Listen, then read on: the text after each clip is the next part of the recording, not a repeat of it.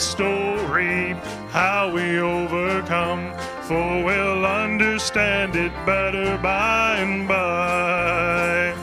We are often destitute of the things that life demands want of food and want of shelter, thirsty hills and barren lands. But we're trusting in the Lord, and according to His word, we will understand it better by and by.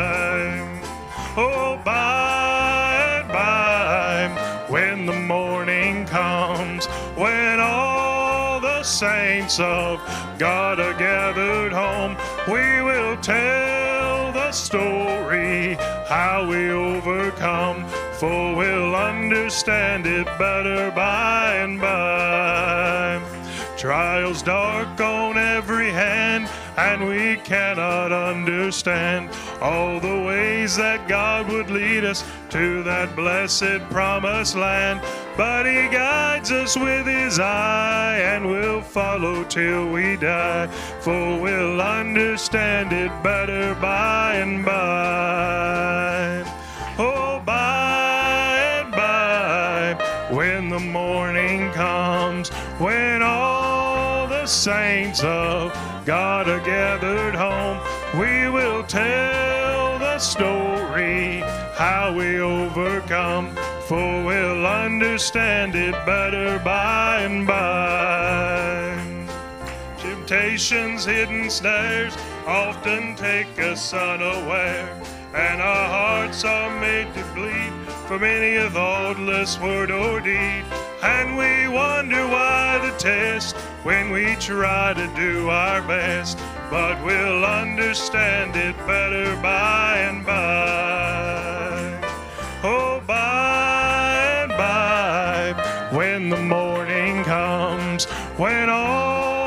The saints of God are gathered home, we will tell the story how we overcome, for we'll understand it better by and by.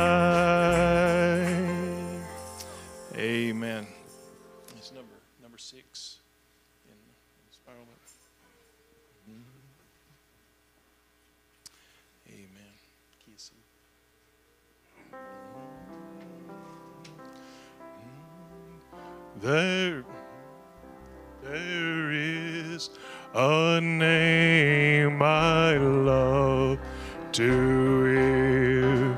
I love to sing its worth. It sounds like music in my ear. The sweetest name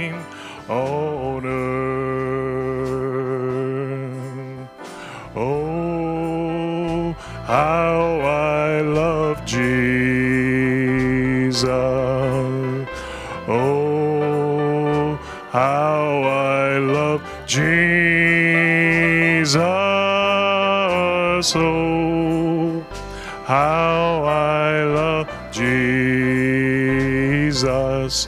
because he first loved me. It tells me of a Savior's love who died to set me free. Tells me of his precious blood, the sinner's perfect plea. And oh, how I love Jesus. Oh, how I love Jesus. Oh, how I love Jesus because he first loved me. It tells me what what my Father hath in store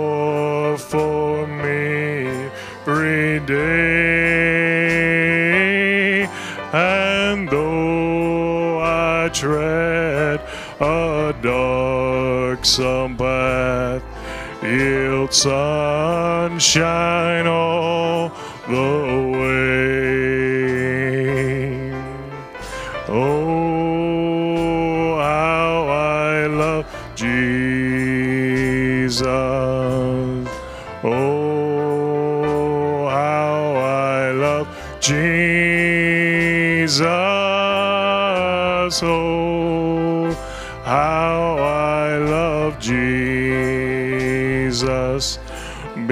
because he first loved me. It tells of one whose loving heart can fill my deepest woe, who in each sorrow that none can bear below. Oh, how I love Jesus. Oh, how I love Jesus. Oh,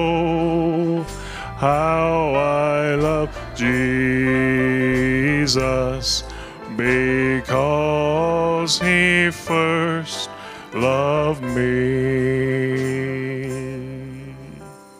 Amen. Brother Jonas, would you mind come helping us this afternoon? Take up tithes and offerings.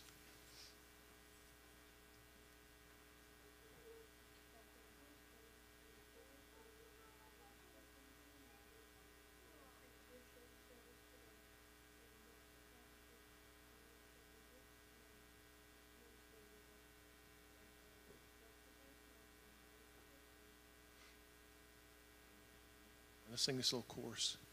Key of C. Mhm, C. It's in the name of Jesus, in the name of Jesus, we have the victory. In the name of Jesus, in the name of Jesus, demons will have to flee. When we come in the name of Jesus, tell me who can stand before in the precious name of Jesus. We have the victory. Oh, in the name of Jesus, in the name of Jesus, we have the victory. In the name of Jesus, in the name of Jesus, demons will have to flee. When we come in the name of Jesus, tell me who can stand before in the precious name of Jesus. We have the victory. Amen. How many glad you got the victory today? Amen. Thank the Lord. Well, today was supposed to be Sister Lily Black's day to sing, so we didn't. She's not here today, so. But we've got an excellent fill-in today, and so Brother Brandon has gracious accepted our invitation to come sing this afternoon. So we're just glad to have them. Sister Sandra and the girls here with us today. So Brother Brandon's going going to bless us with a song today. So God bless you, brother. Amen. I'm going to sing in the sweet by and by. It's number 53. It's a congregational song. Y'all can sing it with me. Our old uh, pastor and friend uh, used to sing this all the time in his church. He passed away this week, so I'm going to sing this uh, for him, okay? Yeah. I'm not sure about what key. I'll just go and you come in. Okay. Well, there's a land that is fairer than day. And by faith we can see it afar. For the Father waits over the way to prepare us a dwelling place there in the sweet by and by. We shall meet on that beautiful shore in that sweet by and by.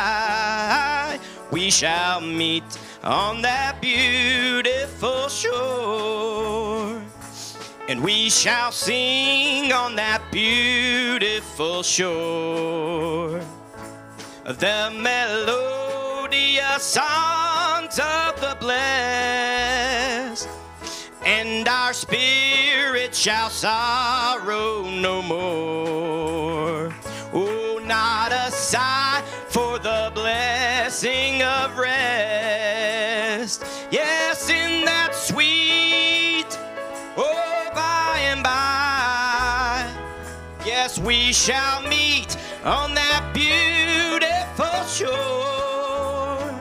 Yes, in that sweet, oh, by and by, we shall meet on that beautiful shore. And to our bountiful Father above, we will offer our tribute of praise for the glorious gift of his love and the blessings that hallow our days. Yes, in that sweet, oh, by and by, yes, we shall meet on that beautiful shore. Yes, in that sweet, oh, by and by, shall meet on that beautiful shore. Yes, in that sweet, oh, by and by, yes, we shall meet on that beautiful shore.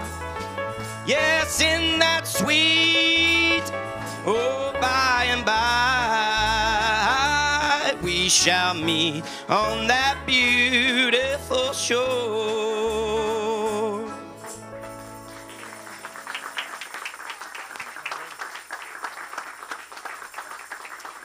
Amen.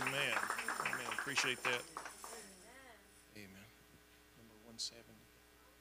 We'll be in F. Amen. We're going to sing song, Where Could I Go But to the Lord? Living below in this old sinful world, hardly a comfort can afford. Striving alone to face temptation sore. Where could I go but to the Lord? Where could I go? Oh, where could I go? Seeking a refuge for my soul.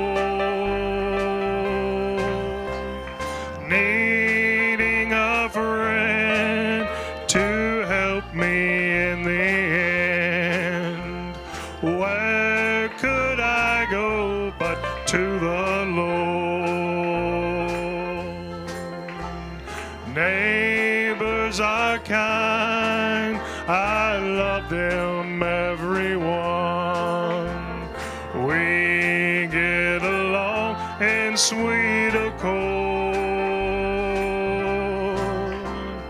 But when my soul needs manna from above.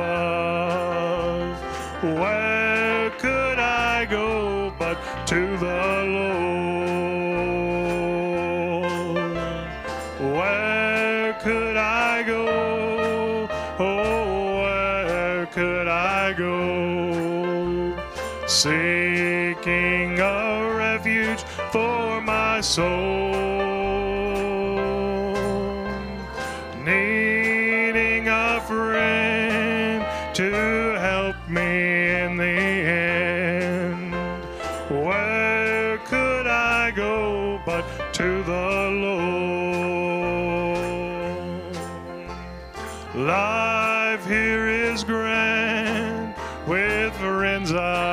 So dear.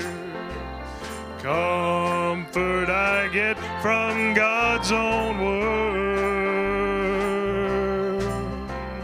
Yet when I face the chilling hand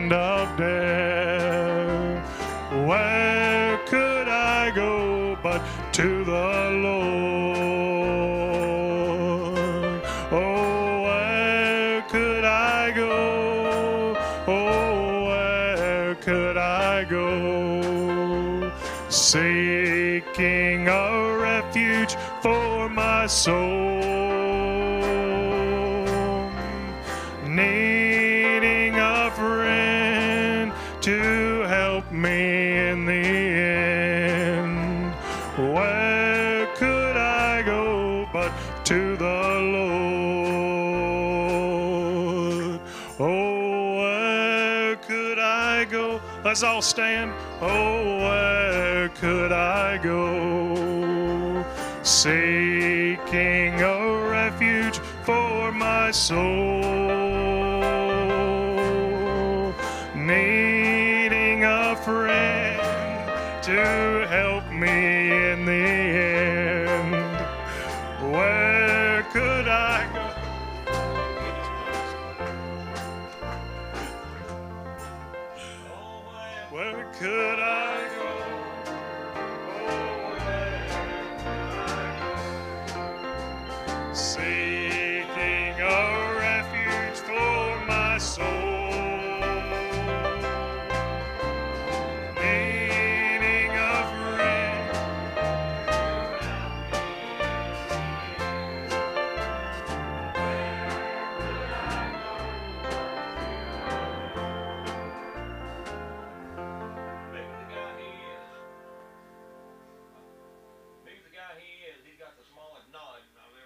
You want me to come out? I'm doing this. He goes.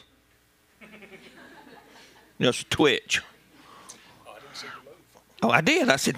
oh, You said. Well, you had to do it the second time. The fourth I did. I did. You're right. So anyway, what we have here is a failure to communicate. So anyway, good to be in the house of the Lord. Good to see each everybody back again.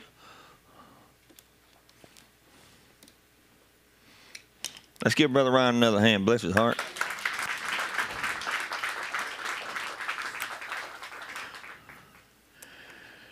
That boy come a long way from when we used to go to fellowship meetings. Lord, we'd have to slow down going up the mountains. He'd just about barf all over everybody. He's just a little kid, about what, 18, 17, 18? He'd say, Y'all gonna have to slow down a little bit. We'd go to Brother Tom Kershane's and he'd, he turned green, purple. But you know what? He went. He went, he kept going, he went, and he kept going, and then then he disappeared a little bit. He brought somebody back with him. Sister Gabby. Lord, I remember her giving her testimony there. What was it, 2006 or something like that at, at youth camp in Alabama? Wow. Whew. Time flies. My goodness. Well, it's good to be in the house of the Lord. Good to see each one of you here. I, I guess I'm the only one that wanted to be here and one other person. That's all I heard. You to be in the house of the Lord? Would you rather be somewhere else? Go ahead. All right, let's turn our Bibles. okay, we'll get started now if y'all want to. This will be part 86. I think, Brother Joe, I've been looking. I We're going to have to look. I don't. He's behind him. He's behind a number, but it doesn't matter when you get up in these numbers. I mean, you know, what's one sermon? You know, they're all going to run in together. So let's remember Brother Darrell Ward to be here next Saturday, three o'clock. We'll have pizza for the kids. Um, bring all your uh, young people, and we'll have a good time. Only have one service on Sunday. Brother Darrell will be here also that day. Remember, Brother Bob and Brother Luis will be coming back tomorrow with their entourage, and Brother Michael's probably on the plane right now. All right, so they were taken to the airport not too long ago. Uh, February the 4th, we will have Bible study here at the church from 6 to 8 on this coming Saturday. No, the next Saturday. Sister Anna Commodity done got me all messed up. She said, "You." She said, You need to tell them Wednesday is not next week. Well, to me, Wednesday is next week, but it ain't. It's, this is the first day of the week. So, this coming Wednesday, you need to have yourself written down if you're going to come to the Valentine's banquet, not next Wednesday. She said, They'll tell you you said next Wednesday. I said, Okay, it's this Wednesday. January 25th will be the last day for sign up. Sign up sheet will disappear. Thank you for all signing up. That's a good crowd we got coming. So we appreciate that. And uh, like I said, Brother Dutch Scott will be with us that weekend. He'll be speaking for a little while that night. We'll have a meal. And then on Sunday, we'll have one service on the 12th. Just make sure you sign up. We are uh, collecting some babysitters. Um, Josh, um, there's some people going to be at my house. Um, Deanna, my daughter, my daughter, my granddaughter, and um, my grandson are going to be there, and we'll be looking after a few. And if you need somebody to keep your kid, then that will be really close. I only live a half, half a mile from the place, so we will. Uh, uh, and you gotta you gotta like a, a, dog. If you don't like dogs, you better find something else. Cause we got a dog, inside dog. And Riley's a little hyper, so just be careful with him. Her.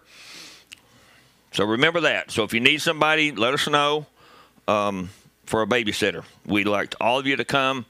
And, you know, it's, it's a date night. It's a night when you go with your sweetheart and you don't have to worry about your kids. You don't have to worry about where they're at and what they're doing. And uh, they don't have to worry about you, where you're at, and what you're doing. You're going to be there at the Valentine's banquet. And we'll have a good time. We're going to have some prizes and gifts, and we'll do the left right game, and we're going to do the newlywed game. So we're going to have a good time. We'll get to know each other a little bit more. So, and then all the group from Ohio, they're coming too. So we got to pick them up on Friday, but we got all that pretty much handled. So uh, remember, Sister June, a little more on her shoulders. You got to go Thursday for a follow up. And then, um, Pray for me. Wednesday, I had a, um, what was it? A heart, not a heart cath. It was a sonogram on my heart. What is it? Thank you. I had an ultrasound. It's going to be a girl. That's what I. Oh, sorry, never mind. That's what I asked that guy when I got done. I said, "Boy or girl?" He said, "You having a girl?" So I've got a girl heart. Oh, ain't that sweet? Oh, I got a heart for one girl. Amen. That's right. So just remember that I get my results on Wednesday, and they're going to let me know uh, how that is. I'm not having any issues. It's just precautionary from all that that happened before. So just keep me in prayer. Remember Sister Freedom. She's still hurting, so just pray that the Lord will take that away from her and comfort her. And Brother Dale, and Sister Dale, today also. So remember all these requests um, Wednesday night. I'll be speaking Wednesday night. Yeah, I'll be preaching this coming Wednesday night, the 25th, the day we take the list down. This week. Let's pray.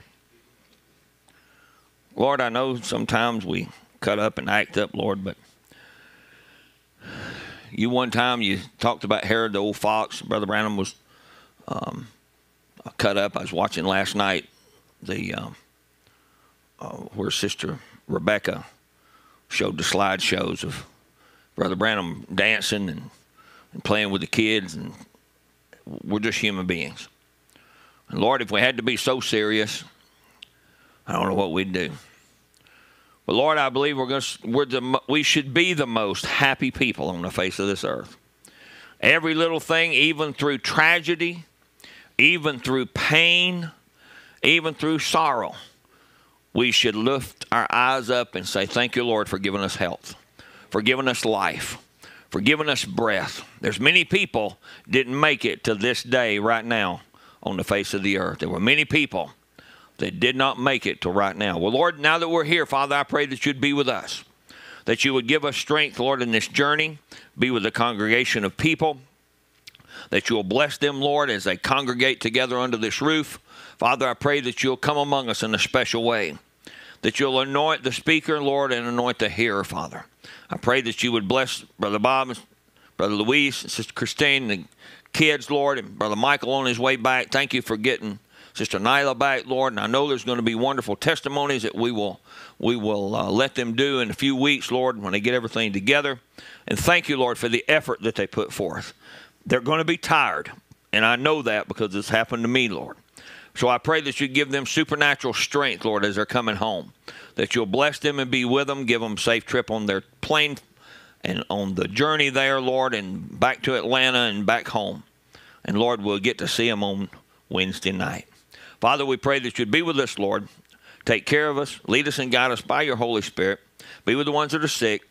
Bless the ones, Lord, that are that are sin sick, Lord. We we still praying for those, Lord, that, that need to come in, Lord. We're one day closer to home. We're one day closer till this Gentile door is getting shut. And when it's shut, there's nothing else anybody can do. Father, we'll be in the ark and you'll take us home. Lord, just forgive us of our sins and our thoughts that are contrary to you. In Jesus' name we pray. Amen. Son of Man, part something. So we'll just say 86 at the moment. When you get up into those big numbers, it's okay. It just helps people track what sermon that you're on, so that's okay. Uh, I think Brother Donnie's on like 254, so so, so 85. Oh, okay. So in the beginning was the Word, Word was with God, and the Word was God. And the Word was made flesh and dwelt among us. We beheld his glory, the glory of the only begotten of the Father, full of grace and truth. You may be seated. You know, there's nobody can say that but us. Do you, do you think for one moment that that they beheld his glory as he was here on the face of the earth? He was a human being. He was he that he was a common man. A lot of people didn't even know who he was. Uh, the 12 that was with him still had questions in their mind. So we beheld his glory. We actually are the only people on the face of the earth that know his full glory. We're the only ones that know his full potential. We're the only ones that know his character to the degree of having that headstone come back into this church, into the people, and give us rapturing faith. That's what we're heading to. We're heading to rapturing faith. All right, so as we're heading to rapturing faith, then we got to get up there somewhere. We got to get there somewhere. Somehow, somewhere, we got to get there. and we're now looking at the word at knowledge. We see that knowledge is a two. It's a it's two uh, sides of the story. You got a tree of life, and you got the tree of knowledge of good and evil. And we talked about this morning. Where is the tree of life? The tree of life is inside your soul. If you're born again today, you have the tree of life, and you're feeding from that. Brother Branham said, We're feeding now on the body word of the Son of Man, which that was word made flesh. He told them to eat my flesh and drink my blood. That's exactly what we're doing, but we know what we're doing. We know we're not eating the physical body and we're not eating drinking the physical flesh. As a representation, next Sunday we'll be taking communion, and uh, that's what we'll be doing. But we'll know in our mind why we're doing it. We're taking the wine and we're taking the bread as a symbol and he said, Do this until I come back. Amen. So we know one thing's for sure. We're going to keep doing it till he gets back. All right? We're going to do what the word says. We're going to do what it tells us to do in our communion.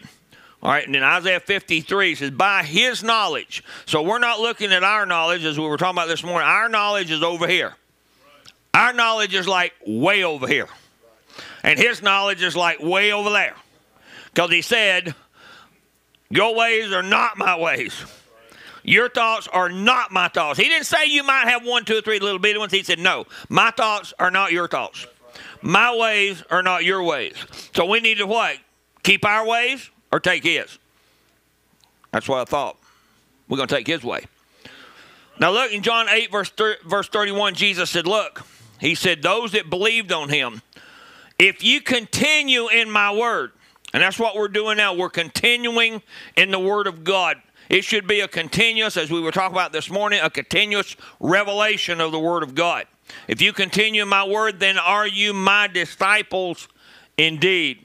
And you shall know the truth. Now, that word know comes from the word knowledge. Knowledge is to know, all right? And you shall know the truth, and the truth shall make you free. Now, there was a group of people, though, that was in the Bible that Jesus said, Jesus said, They'll come to me in that day and say, Have I not cast out devils? Have I not done these mighty works? And we've done it in your name. And he said, Depart from me, I never knew you.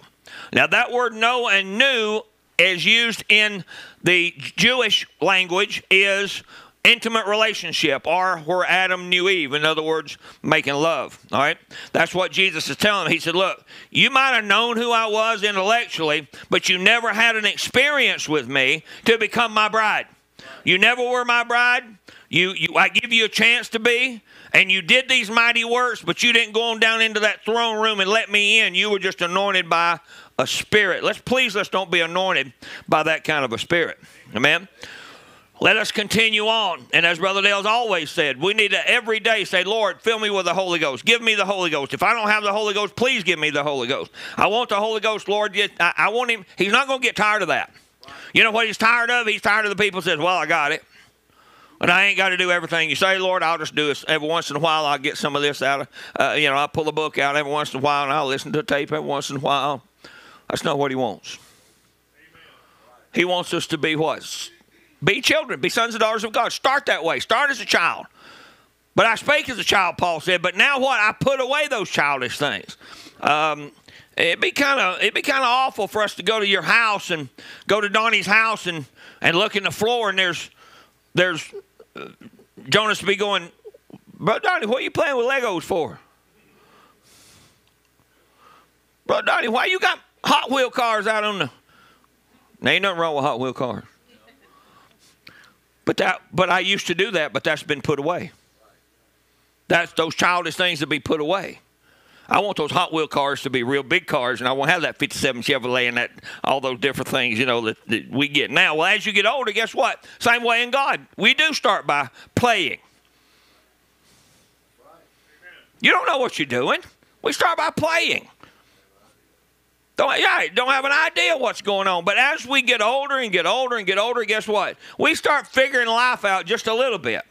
That's the same way with God. If you'll just stay here, stay under the fountain, listen to the Word of God, listen to the preachers, listen to your elders, and listen to Brother Branham on his tape, then guess what? Something good is going to happen. It's when we quit doing those things it's when we quit and stop and leave church and nobody don't love me no more and nobody don't care about me. And, and you know, Brother Danny didn't shake my hand, didn't even look at me today.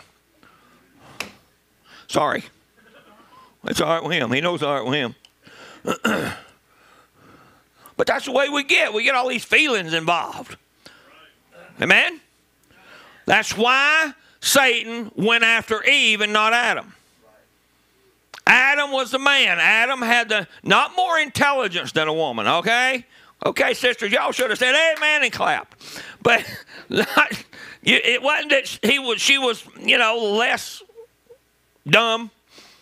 No, she had emotion and feelings, and Satan knew that. He could feel that, and he knew that if I can just get to her and get to her emotion, I'll turn her away.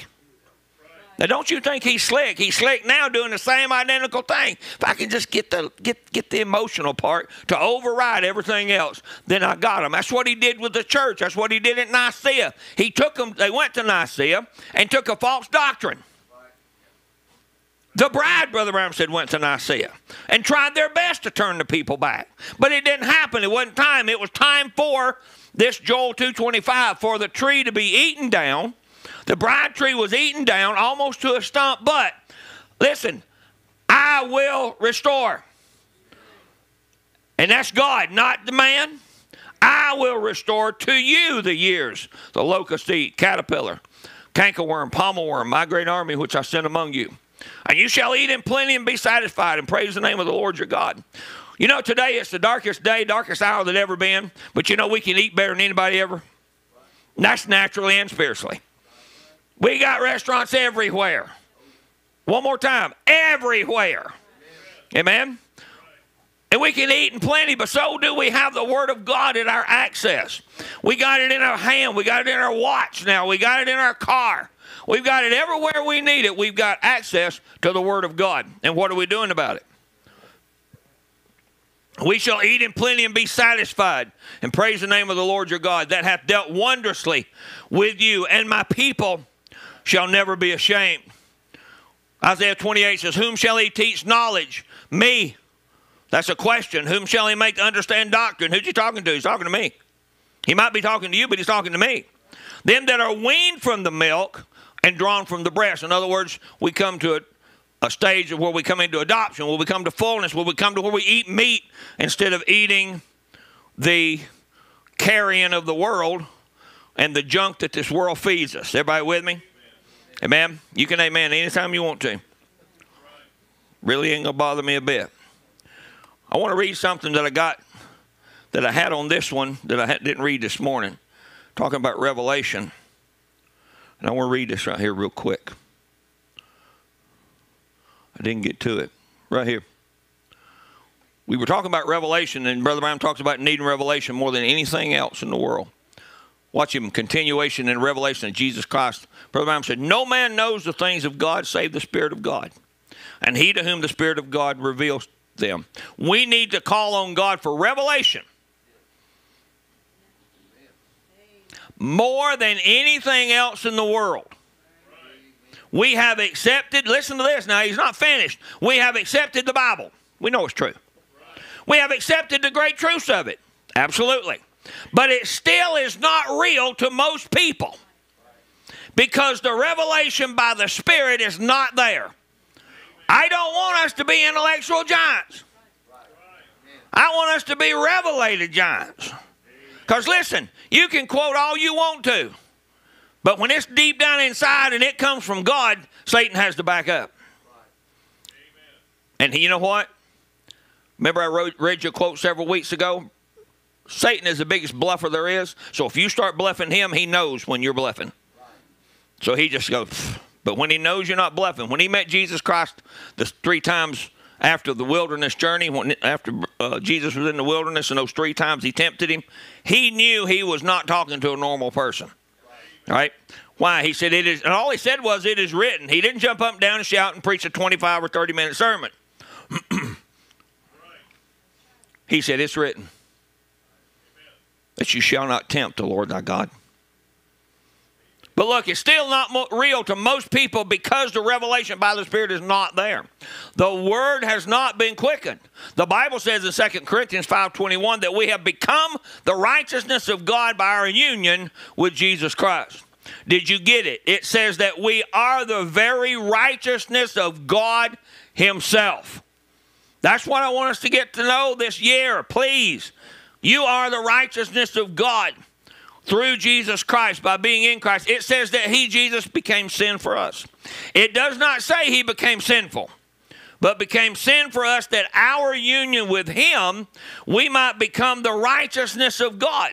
If we accept the fact, look, and we must that he literally became sin for us by his substitution for us, then we must also accept the fact that we are by our union with him have become the very righteousness of God. I want you to read this with me.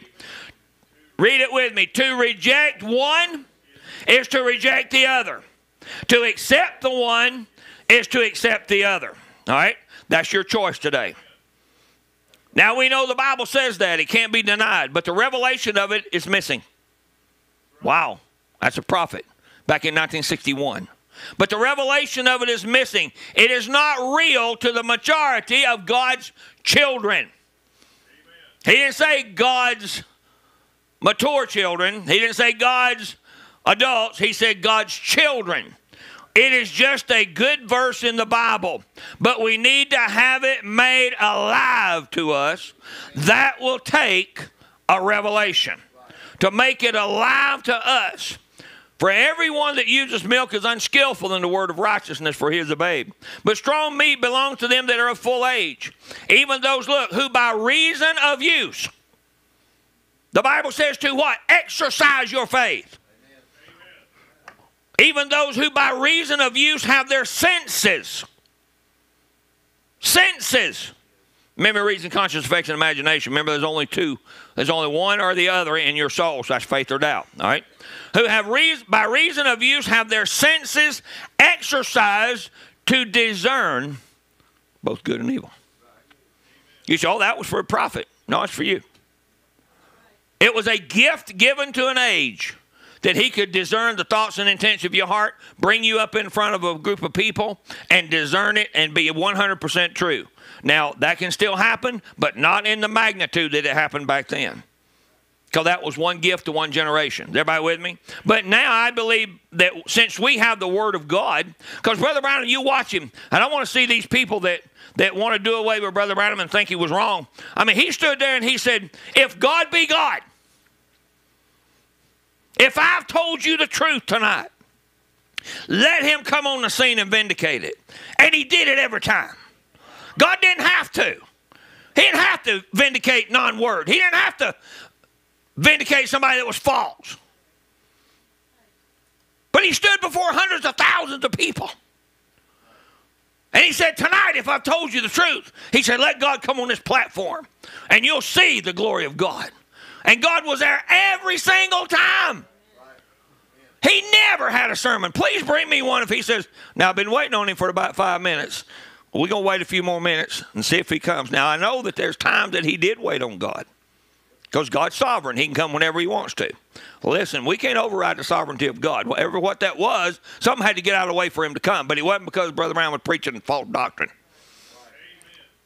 But he didn't wait 30 minutes, and then 30 minutes later, he's like, well, he's not. He's not coming tonight. He must be somewhere else. He's probably over there, or Roberts or somewhere. He's not coming tonight. He never said that. God has to honor His word. Take Him at His word. Start speaking to yourself. Speak to your children. Speak to your wife. Everything you need. Speak to yourself for the new birth. Who by reason of use have their senses exercised to discern both good and evil. Jonas. Yesterday, you and um, Thomas, where did y'all go? Went to Perry, Georgia. Why? So he can shoot archery. First time you ever picked up a bow, right? Really? Oh, you practiced. Oh, man. How many times you practice? Yeah, I know. If it was guns going off, we'd done arrested you.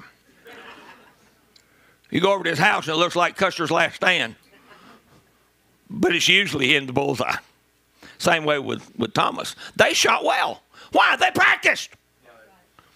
Well, I don't know one thing. There was not one person down there. You dashed it, there's about 800 people down there shooting archery. Not one of them walked up and said, I ain't never done this before. Hand me a bow. I wouldn't be in the same room with them because you know what they'd be doing? Why? They were unskillful in what they were sent to do. You and I cannot be unskillful in what God sent us to do. But we got to practice and practice and practice. Practice what, Jonas? Form. Practice your form every time. Your muscles have to be toned to do that job because it's a stick and a string and it's hard to shoot them things. I promise you, done it before. But when you get everything down right and you lock that baby in, you lock them back muscles, and you don't do this, your training will put that arrow right where it's at. Same thing with me and you. Our problem is, is we're unskillful. I'm, I'm, me. Okay, I'm sorry. I'm gonna preach to me today. I'm unskillful because there's things that I want done in my life and things that I want done. Not me personally, but I want God to do in my life. That's not happening yet. Why? I haven't practiced enough to discern both good and evil. The word discern means to separate, make a distinction, discriminate to prefer. And remember, we're in this age of, of discrimination and all this stuff. Brother Branham told us that God was, He did discriminate. He said, These are my kids, these are not. He was a segregationist. He separated. Why? He discerned. Brother Branham's discernment was to what? It was to separate the good from the bad, the false from the true. Remember, there was people that came up in his early ministry and gave him those cards, and it was wrong. And they were trying to do that to trick him. Well, what Brother Branham tell him? He said, Look, there's nothing wrong with you. This is not, but now, since you've done this to the Holy Ghost, now you have those things that are on that card. You don't play with God. No. You don't play with that gift either. So to discern, so that discernment is for me and you both. It's to separate, make a distinction. We got to know what's right and what's wrong. We got to know whether we listen to false doctrine or we listen to true doctrine. And to do what? To take that and use it in our archery tournament, or use it in our track of life, or the things that we do and that we do for God. And and like Brother Bob and Brother Luis, uh, Brother Bob had never been over to another country before. I don't know if he's ever been out of two or three states before. Every time you see the pictures of him, he's like he's wide eyed, like a deer in a headlight. He's having a time. But he's seeing things he probably has never seen before. Amen? But now, Luis, he's been there. He's been there two or three times. He's you know, part of the culture, you know, and he's, he's like just as comfortable he can be. And Bob's like, why? He doesn't have discernment because he doesn't know what he's looking at yet. That's not to say anything against Bob, it's just his first time. But when he goes back again, he's going to be more calm. You know, I've been to Jamaica 11 times, and it doesn't bother me one bit. Go get on a plane, go to Jamaica, and I could probably drive. I'd have to remember to drive on the other side of the road. But I wouldn't, wouldn't bother me because I pretty much know the place. Why? I've been there. So I can separate the good from the bad. I can go to the right places. Well, that's the way God is with the Word. He tells you what to do, and we're supposed to do that. We're not supposed to well, you know, let's just live close enough to the world where they can't tell the difference. No, you need to live so far away from the world so they definitely can tell the difference. Amen? So that's discernment. And what is their discernment? Oh, y'all just get beat down. You just have to do this. I am so sorry. And I'm going to tell you something, to be really honest. Sisters with long hair like that, like June's got, God bless you. God bless you. Because I'm telling you, I'm, if ours is wrong, we go get it cut. Yeah, I mean, if we got two or three, you know, every time Jim's got them flyers, you know, got them that stick out way out like this that you can't ever get back to the back. Right? But see, we don't have to do that. We just go in there and go, man, that's been there a while. You know, start cutting it off. But your sisters don't do that. To for the glory of the Lord, not because it makes you look good, bad, or indifferent. You do it for the glory of the Lord, right? But it is a sacrifice. God bless you for that. I appreciate it. You washing your hair. You have to have to wash all that all that hair. Bless her heart. I sent her up to Jeannie's, up to our girl at the at the beauty shop, and she washed her hair for her because I don't know if I could do that or not. That's just a lot to have to wash. That's a lot of hair. But you know what? That's your example. That's your example to the world. You can't preach. Come on. But you can show the world that it can be done what the Bible says. And you know what? It not be done begrudgingly, but be doing it for the glory of God and doing it because you you don't feel you have to. Everybody thinks, you know, well, y'all are so depressed and so suppressed and all that. We're the most free people on the face of the earth. We do it because we want to, not because we have to. Come on. And I pray to you that your love may abound yet more and more in what? Knowledge and in all judgment. We have been given this knowledge right down here at the bottom of the pyramid to judge. Because I'll promise you, when you get temperance and patience, you're going to have to know what you're doing. Somebody say amen. Because that's going to be the rough one for all of us. But now there's a group that has a form of godliness. I'll get back to my other sermon in a minute. I didn't finish this this morning. Some have a form of godliness, but deny the power thereof. He said, From such turn away. In other words, go in another direction. For of this sort are they which creep into houses and lead captive silly churches. Women are churches in the Bible. Laden with sins, led away with many lusts, ever learning and never able to come to the knowledge of the truth. God, don't ever let me get in that place. Don't ever let me get into that spot. Hebrews 10, verse 23 says, Let us hold fast the profession of our faith. Look, without wavering. So what if the storms of life hit you right between the eyes? If you're a child of God, It's got to be for your help. God's not going to put something on you that you can't handle. You just don't know whether you can handle it yet or not. And let us consider one another to provoke, to provoke unto love and good works, not forsaking the assembling of ourselves. Who put that in there? Not forsaking the assembling of ourselves together, as the manner of some is, but exhorting one another, and so much more as we see the day approaching. For if we sin willfully, look at that scripture right after that. If we sin willfully, after that we've received the knowledge of the truth, there remaineth no more sacrifice for that sin. And I'm not going to read you the rest of it because it's pretty horrible. So let's get out of that one. Let's go up here to the, get back on my sermon here. Everybody all right? Say amen. so here we go. I love that little thing that says, Welcome back. Knowledge. 2 Peter 1, verse 5, besides this, giving all diligence, add to your faith virtue, and to virtue knowledge. Knowledge is gnosis, which is science. Science is good if it's right. Listen, God's the greatest scientist there ever was. The greatest. He's the most perfect scientist. He can answer every question. There's not a, uh, when you say that, Aaron, when you can't come to, it's like you can't have a whole number. It's like 0.33333 and it continues. Isn't there a, there's a there's a there's a theory or some kind of a something that I can't remember, been a long time ago. But it never comes to a straight number. It just keeps going like threes and twos and ones, and you can't ever get the exact definite number. Well, in God, that don't happen. What is it? Yes, thank you. And it just keeps going on and on and on and on. Why? There's no end to it. We haven't figured it out yet. God doesn't do that. God's yeses are yes, and his no's are no. Knowledge signifies in general intelligence, understanding, the general knowledge of Christian religion, the deeper, more perfect, and enlarged knowledge of this religion. That's what I want. I want God to make us deeper in the Word of God because you know why? It make your life a whole lot better. It make mine and your life a whole lot better if we dig deeper and get the knowledge of God, not the knowledge of the world such as belongs to the more advanced, especially of things lawful and unlawful for Christians. See, that's coming from. This is coming from from the um, from the Greek.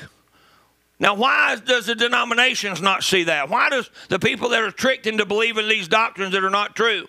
Because look, it says especially of those things lawful and unlawful for a Christian. It's unlawful for you to cut your hair, sisters. It's not just a, a, a well, maybe. No, it's in the Bible. such as belongs to the more advanced, especially of things lawful and unlawful for Christians. Moral wisdom, such as in seen and right as seen in right living. Now see, we shouldn't have to teach that. We shouldn't have to teach right living. But we do for the babies. You have to remind a baby a hundred times. You ought not have to remind an adult a hundred times. Everybody with me? So make sure you sign up that sheet down there before Wednesday. Make my mama mad. Genesis 2, verse 9. Listen, we're all the same mold, so I'm the same way. Amen, my wife said. That's all right.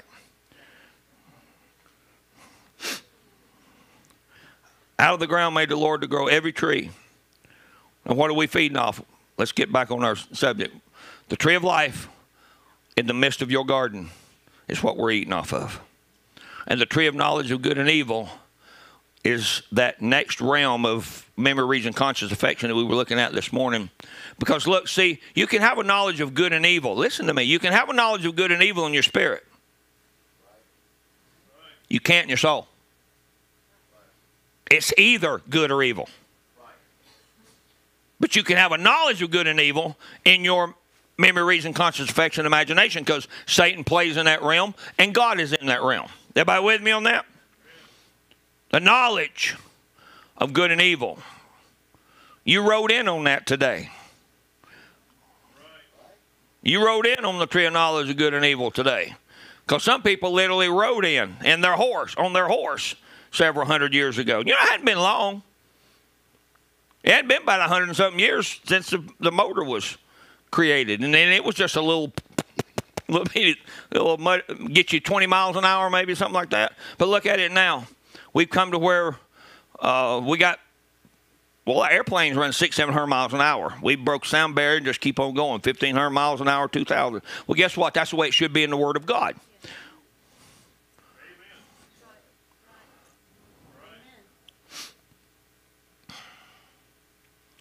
Then you remember he sent us out, sent them out of the garden. Listen, we went out with Adam and Eve. We didn't stay in the garden. We went out with Adam and Eve because we can't get back in the garden yet. We're getting, we're heading back to the garden, but we came out with Adam and Eve. Brother Branham said that was our that was our father and mother. We were born between Satan and Eve. Well, you can get quiet on me. It's okay.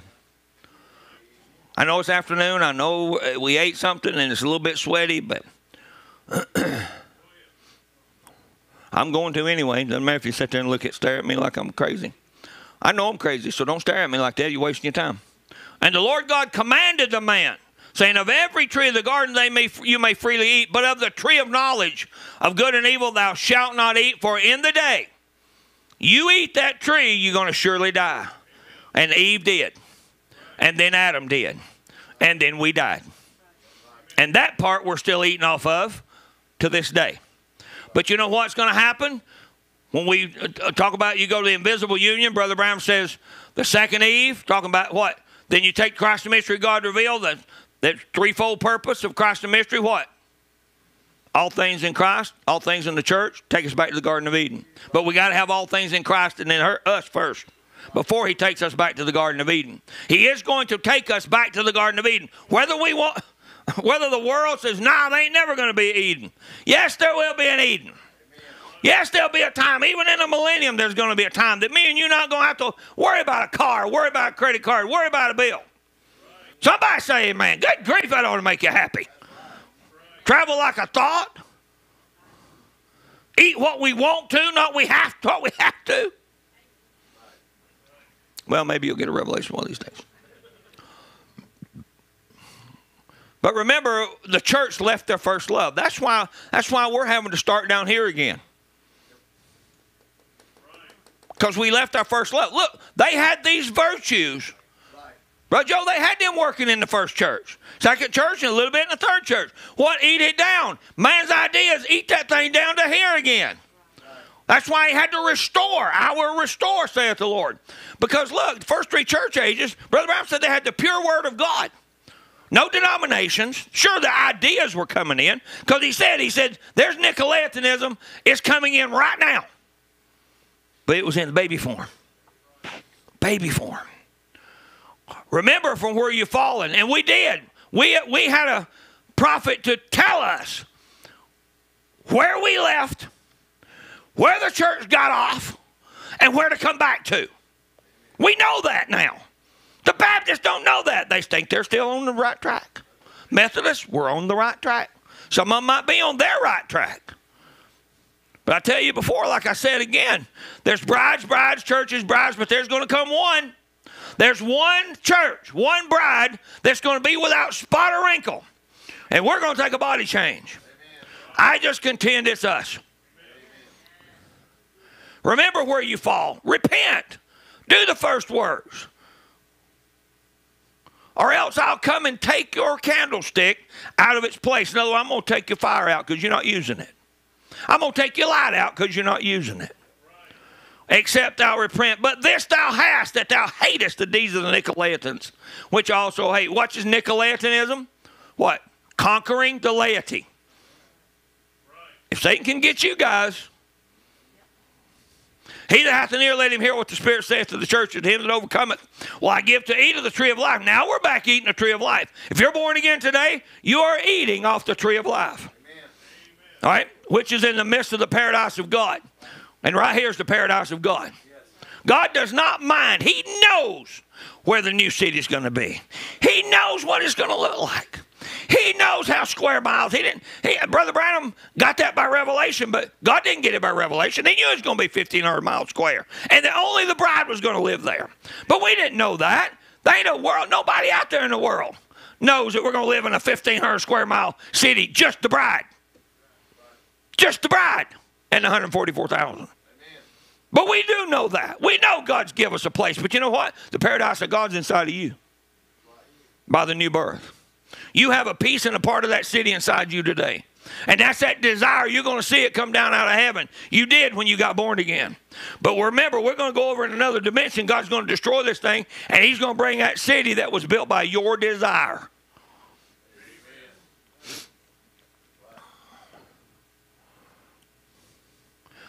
What does knowledge mean? The fact or condition of knowing something with familiarity. I got it right. Gained through experience or association. acquaintance with or understanding of a science, art, or a technique. The fact of condition of being aware of something. Listen, we can't go through this world and not be aware. If you've come under this mess of the hour, you ought to know that and be aware that you are a special people, that you are the chosen. Some choose to be the chosen frozen, but that's okay. One day God's going to put a fire under you, and you'll find out there's nothing in this world that you need besides God. Circumstance or condition of apprehending truth. What do you do? What does apprehend mean? When somebody steals something or you you chasing some robbers, what do you do when you, you catch them? You apprehend them. You go catch them and you bring them back. And that's what we're doing with these. These look, folks, this has all been lost. The virtues have been lost down through the ages. They've just been scattered everywhere. Thank God it took a master builder. It took Zerubbabel. It took Zerubbabel to bring it back, put it back together, build it back up through a little prophet of Malachi 4. He even told him how to draw this drawing. Nobody ever put the pyramid with the with the uh, statue of perfect man. Except one. And that's good enough for me because you know what? It fits. It fits. If you continue my words, then you are my disciples indeed. And you shall know the truth, and the truth shall make you free. Now listen, we can't know the truth and it bind us. You can't. It's not the right truth. If you got something that's binding you, it's not the truth. Because the truth is going to set you free. That Jubilee year, when they got to that place and they realized it was the 50th year, and they realized, I don't care how much debt I incurred, I don't care how much I, I my house needs this and the gutters and shutters and all that stuff, I'm going free. God give me a place over there, not here. Come on, people. God give us a place over there, not here. We know it's going to be here, but we got to go over here and let Him clean this off. Then we're going to come back. that word know is to perceive, understand, get a knowledge of perceive or feel. Understand, perceive, have a knowledge of, to understand. Look, it's a Jewish idiom for sexual intercourse between a man and a woman. Adam knew his wife Eve, all right? Look at this to become with, acquainted with, to know. To the Greeks, this meant to know facts. But these facts may or not affect one's conduct. To the Jews, true knowledge always manifested itself in one's conduct. Isn't that what that is? It always manifests itself in one's conduct. If you got a problem with your temper, I'll promise you, God is going to make sure you know whether you got left it left you or not. I used to say, no, that's the devil. No, that's God. If you're a child of God, it's God guiding this because what Brother Branham say? He said he turned the devil loose on you. Have you considered my servant Job? Job was a wonderful guy. He was just having a party. He was great. Devil didn't even notice him. Lord said, you consider this guy right here? Where you been, Satan? Be walking up down the earth. In other words, there was millions of people on the earth, and he just he just tormenting every one of them. And here's Job over here somewhere in the corner, and nobody's bothered him. Nobody's seen him. He's got all the cattle he can, he can feed, and he's got all kids, and he's got houses, and he's got property, and he's got everything. And he said, "Hey, devil, have you have you checked this guy out yet?" God did that. You know why? Because he knew what Job would do. Job didn't know what Job would do. You, God knew and knows what you'll do, but you don't know. And see, to me, that's a revelation because it'll, it'll help me understand where I'm at. our trials, our test is, like I said, is for a testimony. But these facts are may, may or may not affect one's conduct. To the Jews, true knowledge always manifested itself in one's conduct. One did not know something until that fact had a particular outworking in his life. Well, that just sounds exactly what these virtues are. There's an outworking in your life, and sometimes you don't know you got it until you go through a test, and then you figure out, yes, I do, or no, I don't. All right? Proverbs 3, verse 13 says, Happy is the man that findeth wisdom, and the man that getteth understanding. For the merchandise of it is better than the merchandise of silver and gold. She, see, it all, that all turns into a she now. She is more precious than rubies, and all the things thou canst desire are not to be compared unto her. Length of days is in her right hand, and in her left hand riches and honor. Her ways are ways of pleasantness, and all her paths are peace. She is a tree of life to them that lay hold upon her, and happy is everyone that retaineth her. You know what? People ought to be happy to be around you. People ought to be happy to be around you. Sit there and think about that for about 10 seconds. And figure out if that's what's happening in your life, or people can't stand to be around you one of the two. And this I pray that your love may abound yet more and more in knowledge and in all judgment. You say judgment? Yes, that knowledge right there. Watch this, 1 Corinthians. Dare any of you, having a matter against another, go to law before the unjust and not before the saints? Dare any of you, Paul said. Paul's in Corinth. Uh, we got all these Corinthians that are babies, and they're some of them are still idol worshippers, and some of them still party, and some of them still drink at the Lord's table, and some of them are just newborn babes. And Paul's got to treat them like babies. He said, "Why do y'all take each other to court?" To go to law before the unjust and not before the saints. Do you not know that the saints shall judge the world? And if the world shall be judged by you, are you unworthy to judge the smallest matters? Know ye not that we shall judge angels? World? Now angels. They were created before you got here. And we're still going to judge them. Know ye not that we shall judge angels? How much more things that pertain to this life? If then you have judgments of things pertaining to this life, set them to judge who are least esteemed in the church. You know what Paul's saying? He said, don't take him to the smart guy. Right. Take him to the one that's least esteemed. Because if he's got the Holy Ghost, he does have some discernment. Right. Now, the problem is, and, and I want to explain something real quick, because don't let people run over you in life. This is talking about a brother, me and Donnie, taking each other to court. You should not do that. Number one, you save a lot on lawyer fees. yeah, say amen again. Yeah. But we should be able to bring it here and judge it right here. Now, not judge among everybody. There's some private things, but get the saints to get the, the elders together and the pastor and the assistant pastor and the, and the deacons and the elders, and we're going to sit down and talk this thing out. But now, if Donnie was in, in business with an unbeliever, you can't do nothing about the unbeliever. You be the Christian. But he's unjust. You see where it says right here. Right here. Dare ye any of you having a matter against another go to law before the unjust and not before the saints? In other words, why are you taking it to somebody that's unjust, not a Christian, and why are you letting them ju- make you make your judgment? Mm-mm, no, it should be done here.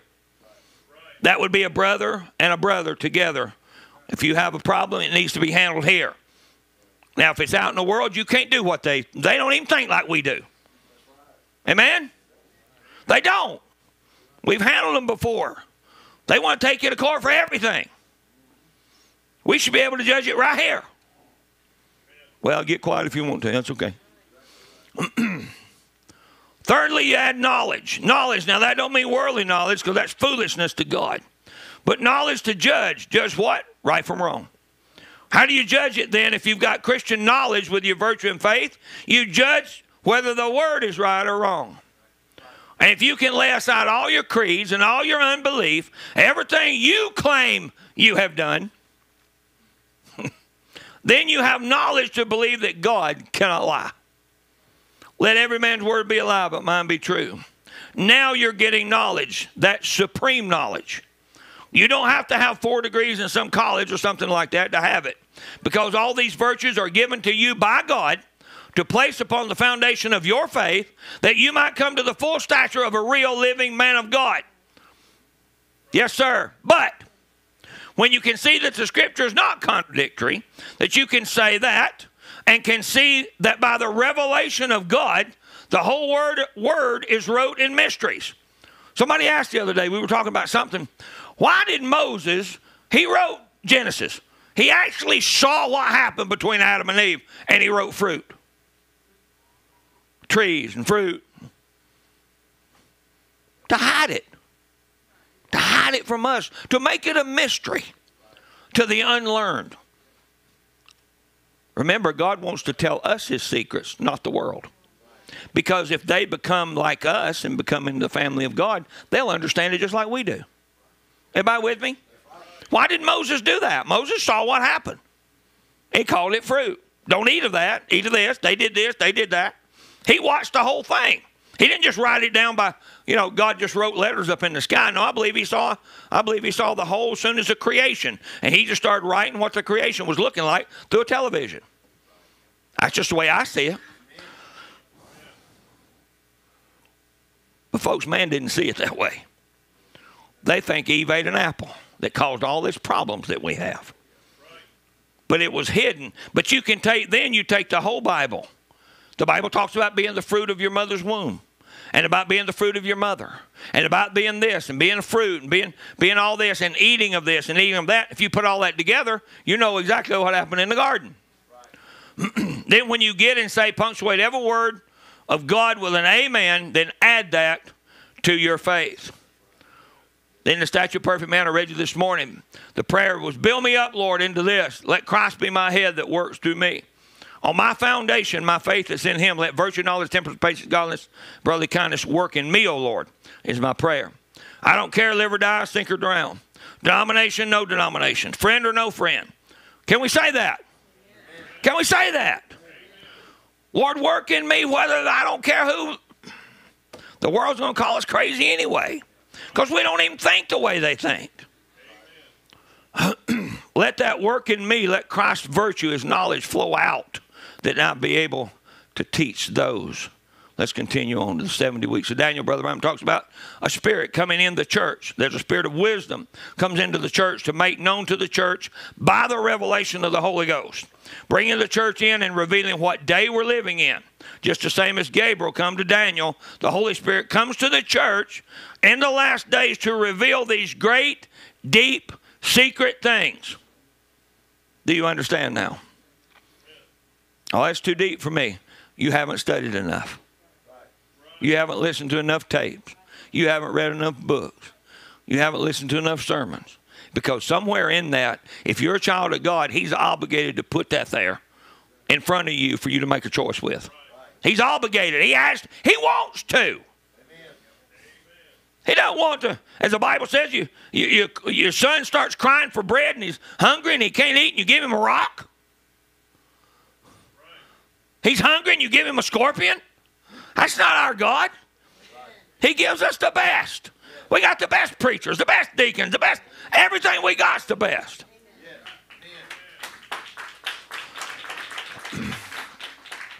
there shall come forth a rod out of the stem of Jesse. Who's he talking about? Jesus Christ and a branch shall grow out of his roots.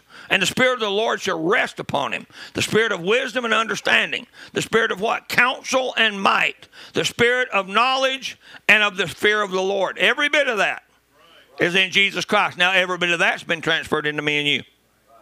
Every bit of that. Ephesians 1:17 says that the God of our Lord Jesus Christ, the Father of glory, may give unto you the spirit of wisdom and revelation in the knowledge of him the eyes of your understanding be enlightened, that you may know what is the hope of his calling and what the riches of the glory of his inheritance in the saints. Hebrews 5.13, we read this a few minutes ago, but we'll read it again. Everyone that uses milk is unskillful. Now, it didn't say if you used milk, you were wrong. And that you denied the word. No, it just says you were unskillful in handling the word of God.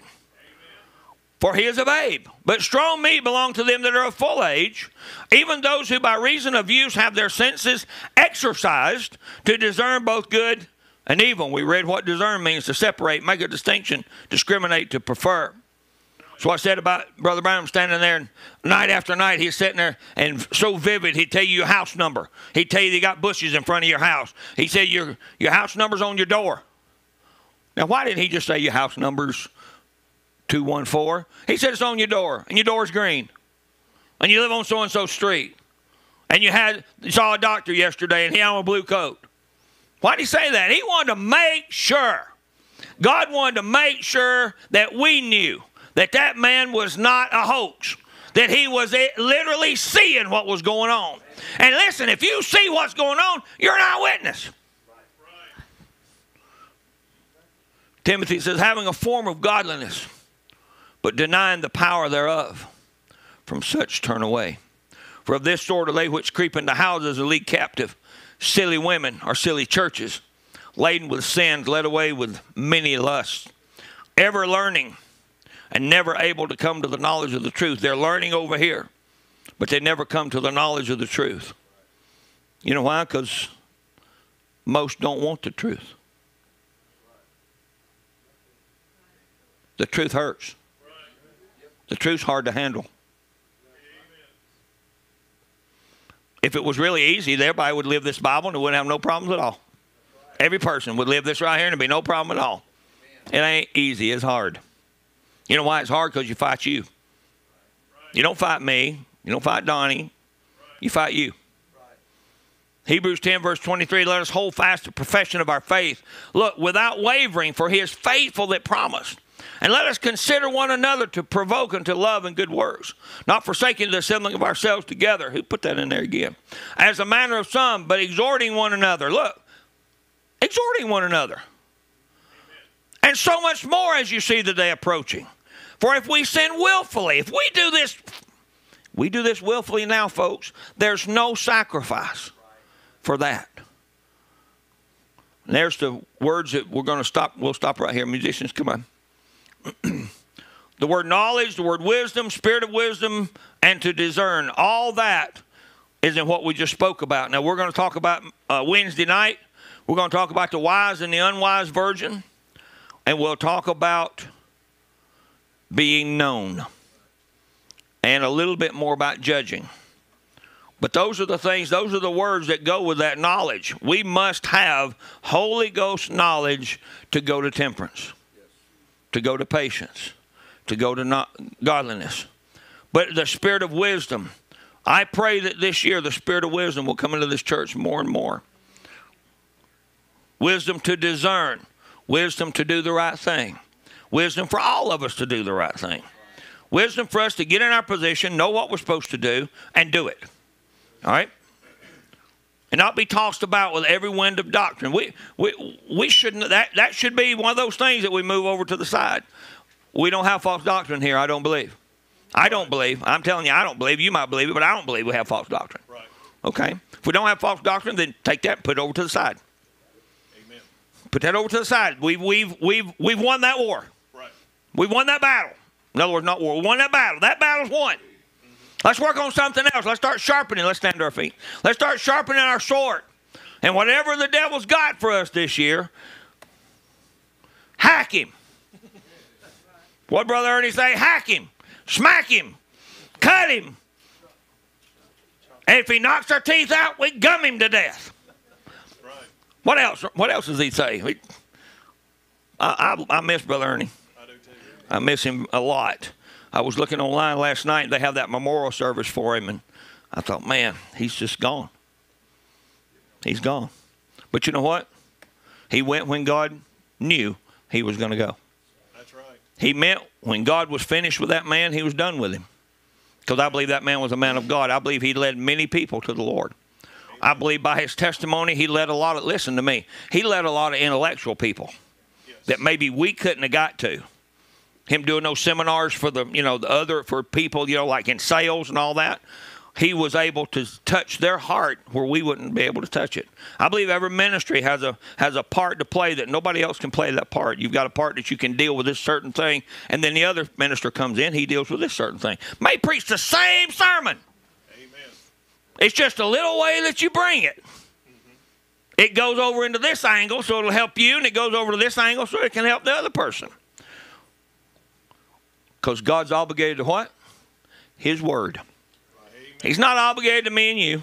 He's obligated to His word. His word will set you free. This world will bind you. This world will smack you and hack you if you'll let it. Right. But I don't want to be the hunted. Let's go hunting. We don't have to hunt the truth. The truth's here. We hunt souls and we hunt a better way to live, a better way to act, a better way to show people around you God. That's right. That's my prayer for this year. Help me, Lord. Like I said before, no New Year's resolution. We're going to get New Year's revelation. Amen. I just read you, Brother Branham said there's no prevailing power. What is prevailing? That means it goes over every other power. Right. There's no prevailing power except for revelation. Then you need to pray for revelation, the prophet said. Above anything, pray for revelation. God, I need a revelation. Because you know, you can put things that you can say, God, all right, I know what the Godhead is now. I don't have to have that preached to me every service, okay? Really, come on, we got to move. Right. We got to move on. Some do need that, but some don't. Amen. I know water baptism in the name of the Lord Jesus Christ. Don't have to have that preached to me every sermon, but some does. But let's move on a little bit higher. Let's go on a little bit further. Let's have a knowledge of the truth, not a knowledge of the world out there. Let's have a knowledge of the truth. Let's sing a song. Sing higher ground. Mm-hmm. I'm pressing Pressing on the upward way. New heights I'm gaining every day, still praying as I onward bound. Lord, plant my feet on higher ground. Lord, lift me up and let me stand by faith on heaven's tableland. It's a higher plane than I have found. Lord, plant my feet on higher ground. My heart has no desire to stay where doubts arise and fears dismay. Though some may dwell where the what? Doubts and fears. Somebody's going to be there. No, my prayer, my aim is higher ground. Get me out of this junk that I'm in. Lord, lift me up and let me stand by faith on heaven's tableland, a higher plane than I have found. Lord, plant my feet on higher scale the utmost high and catch a gleam of glory bright. But still I'll pray till heaven I found. Lord, lead me on to higher ground. Lord, lift me up and let me stand by faith on heaven's tableland, a higher plane than I have found. Lord, plant my feet on higher ground. Is that your desire? I mean, what are we here for? If this is nothing, then we need to just eat, drink, and be merry. Bible said tomorrow we'll die. And we'll die spiritually if we don't keep pressing on. I'm pressing on the upward way. New heights I'm gaining. Are you a better Christian this year than you was last year? If you're not, time start. Amen. Time start. Good time start right now. Right. Let it all out. Get rid of all that stuff. And Sister Shepherd, you know, she was wondering if she had the Holy Ghost. Well, you know what? She did not not only get the prophet to tell her she had the Holy Ghost, he told her where she was at in the pyramid. Right. She was walking, she was right there at the bottom, but all that junk was flowing out of the box. All that trash. He was telling her, You're growing, sister. You're growing in grace and knowledge. You're getting rid of the sticks. Amen. Can we not do that? You say, Well, my stick's not very big. Well, it can turn into a log. And you know what? If you get several thousand sticks in a hole, guess what it's going to do? It's going to clog it up. I had one on my route the other day that it wasn't very many, but buddy, that, that hole was about that big around, and when we all let rain, it just it just put a solid wall, and it was up over the road. Somebody had to come clean it out. Let's let God take and clean that thing out, so that God can flow through this congregation and flow through the Word of God into me and you.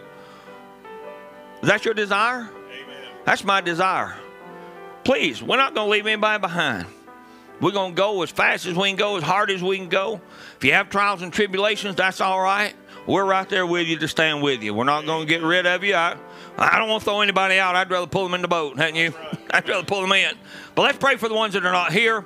and they'll be back Wednesday night. We'll get everybody back, and they'll be here next weekend. Pray for Brother Darrell Ward that he will, um, wonderful brother, um, probably one of the most humble brothers that I've ever met in my life. And, um, and he's good. He, he'll be good for the youth, and he'll be also be good for us. And then remember, too, just we got February. Uh, we got Brother Tim Cross will be here the end of February because I'm doing the wedding in Ohio, so me and June will be gone that weekend. Brother Tim Cross will be here with you, all right? And then you'll hear a cross preacher. And then in March, we come back to the um, youth meeting, and Brother Jack Duff will be here with us. So I've already called Brother Jack. He hasn't been here in, I don't think he's ever been here. We've been down his place one time several, several years ago. Him and Brother Willie Smiley. And uh, we sure appreciate Brother Jack. He's a, he's a good brother in the Lord. And then that'll be March. And then May, I think we've got the Boulevard kid again. We got William here, and he's going to bring the baby with him, and, and we'll get to see it. But uh, that's what we got coming up, and we love you with the love of the Lord. Thank you for all the things you've done for us. Like I said, uh, this coming February is going to be really good. Um, start off with that Valentine's banquet. So um, please, if you can come, come. I hate it. I hate it that, that our sisters that, that are not don't have their husbands with that you can't come. But you got to stop somewhere. Someone asked me. she said, "Well, I'm married to Jesus." I said, "If you can bring him with you in flesh, come on." Now, praise the Lord. I mean, why not? But no, we can't. No, we, no, it's got to be a natural, natural husband and wife. But we love you all, man. I tell you, um, this past week's been a struggle, but uh, we're gonna. And it's not been a struggle because I've had to take care of June. I know what y'all were thinking. I know y'all thinking that. I discern that because the women are rolling their eyes. You know. No, it's not because of her. No. But, but but we did say, you know, the we we we talk about our vows. Some of you that forgot your vows, it says better or worse, sickness and in health, Preacher poor. rich or poor, right? That's what you said and you promised before God to do with your spouse, rich or poor, sickness and health, till death do us part. Wow. A lot of people break that vow. You know, there's a lot of people standing at a pulpit and they'll say that, and it won't be long before they break those vows. You know what? That vow, Brother Branham, what did he say? He said, he said, the man, he said, not, uh-uh, your vow's what marries you to that woman. Your vow to say, I'll take you. It's going to be really good at about 18 to 20 years old. Not a problem. But when you get 65 and 70, it's going to test that vow that you made several years ago. But you know what? There's no better thing than that right there, other than salvation, is to have a wonderful wife and a wonderful husband. And we appreciate that. It was God did it, folks. I'll promise you that. Yeah, wasn't me. wasn't my wasn't my good sense to do that. Don't you smile. You know, you need to get a little bit taller. If you're going to be the same as your brother back there, to have to wear you some, like, well, they don't make 12 inch shoes, I don't think. Because you need to be up here and talking instead of be down here like this. We can get you that little booster seat stand over there. But why did they both wear blue shirts too, anyway? He just didn't wear a tie. Hmm. Oh, oh, okay. Blame my wife. but again, just remember, Brother Ryan and uh, Sister Gabby's taking over for, for Anna's class, and and we've uh, we got Ryan up here doing opening the service, and we sure appreciate each one of you that does everything you do for us. We appreciate it.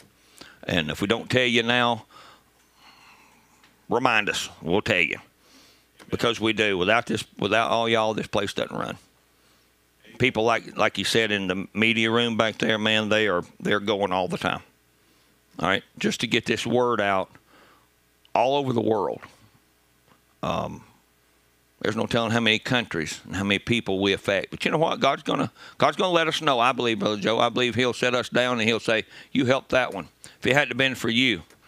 Because what did they tell Brother Branham when he went across the curtain of time? He said, "If they said if you had not come, if you had not come, we wouldn't be here."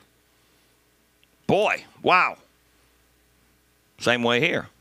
Somebody will say, "Hey, how many times we seen people said we got saved, or or, or we, you know, had a doctrine." um, figured out and, and, everything by listening to your ministry. Uh, thank God that, that, you know there was one time that Brother Dale didn't even want to. Um, I was thinking about this yesterday. We were talking about Ryan. And there was one time Daddy said, "Nope, we ain't having no drums." That's right. You remember that? Nope, we ain't having no drums. Nope, nope. Can we have? Nope. Ryan, Ryan, can we get Ryan to play the, just for the bongos? Just play the bongo drum. Okay, all right. you opened that door for us. And we appreciate that. You play for the glory of the Lord. You don't play with your, you know, you don't f- flip your, you know, do like a rock, you know, a rock band or something. I don't know how that works. Y'all just wanted to tell me how that works, but how you flip those things, you know, and play, you do good for the glory of the Lord, and it's not over. And we have Brother Gary Atkins here. He did the same thing. They played just so wonderful, and we appreciate that. We appreciate you.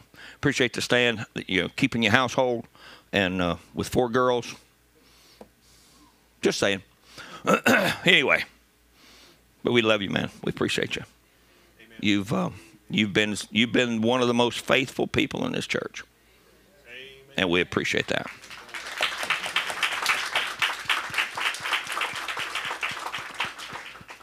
When you get the Holy Ghost, that's what happens to you.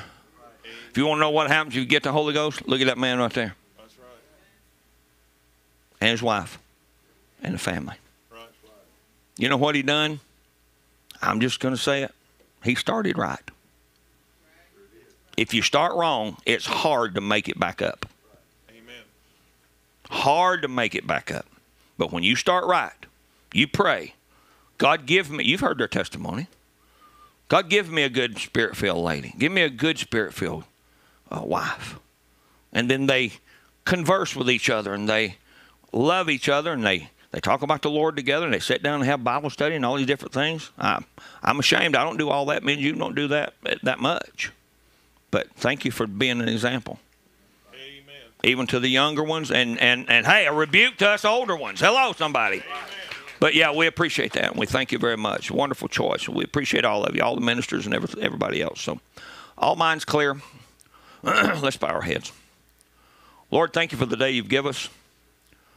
We appreciate truly Holy Ghost filled people to surround us. As you said, there would be a pillar of fire. Well, where is that pillar of fire? Sometimes we want to see that pillar of fire like on a wall or, or on the ceiling or floating through the room. Father, I pray that we see the pillar of fire in each one of us. I pray that we show that pillar of fire to the world and that they know we're different. And Satan, you know one thing's for sure you can't have our soul if we're born again.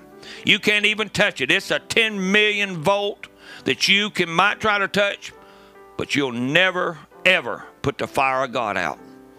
Never will Satan defeat us. Even though we may go down with this body in a grave, our soul will be preserved in that sixth dimension. waiting for a time for us to come to the resurrection. Pick that same body up. Look at the devil and say, Boo! You may have destroyed it, but you're not going to ever destroy it again. You may have tormented us, but you'll never torment us again. You may give us sickness, but you'll never give us sickness again. Never for an eternity. Lord, we thank you for that. We praise your great name for the people that are here, Lord. The ones, Lord, that are sick. Lord, we pray that you would raise them up for your honor and glory, Lord. Come back together with us on Wednesday. Bring Brother Luis and, and his family and Brother Bob and, and Brother um, Michael. And thank you for getting Sister Nyla home, Lord. It, it feels bad when everybody's not here, Lord. But we want everybody to be here, Father, and be healthy and be full of the Holy Ghost and willing to listen and help in the church. Thank you for the musicians that you give us, Lord. Thank you for the ones uh, leading singing, Lord, in Sunday school classes, uh, deacons, elders, trustees, board of directors. Lord, I pray that you just be with each one. Lord, may we show more of you this year than we've ever shown before. And Father, that will be to get a revelation of who you are. And the revelation of who you are shows who we are. Because the prophet of God came to this earth and told us that we are you. She is him. We thank you for that, Lord. We ask you to sanctify us on the journey home. Forgive us of our sins and be with us, Lord, as we travel and work and do the things we have to do next week. That we'll come back together on Wednesday night to serve you, Father. We ask these things in the name of Jesus Christ. Amen. You're dismissed. God bless you.